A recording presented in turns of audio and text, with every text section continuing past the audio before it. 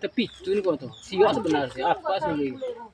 Warga Kampung Dehek, Desa Sepang, Kecamatan Boleng, Kabupaten Manggarai Barat, Nusa Tenggara Timur, NTT, digegerkan dengan kelahiran seekor anak babi yang memiliki wajah yang tidak lazim yakni mirip wajah manusia.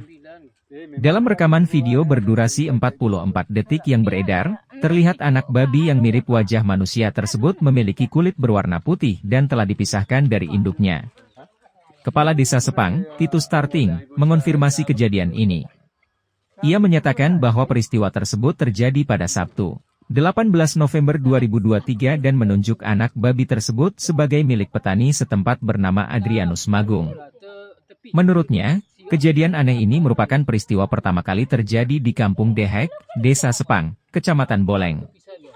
Titus menjelaskan bahwa meskipun bentuk tubuhnya seperti anak babi dengan empat kaki, wajahnya sangat mirip dengan manusia, terutama bagian kepala. Kulitnya juga mirip dengan kulit manusia, hal yang tidak biasa untuk babi pada umumnya. Sayangnya, hewan tersebut meninggal beberapa jam setelah dilahirkan. Meskipun sempat bernapas sesaat setelah lahir, ia tidak bertahan lama.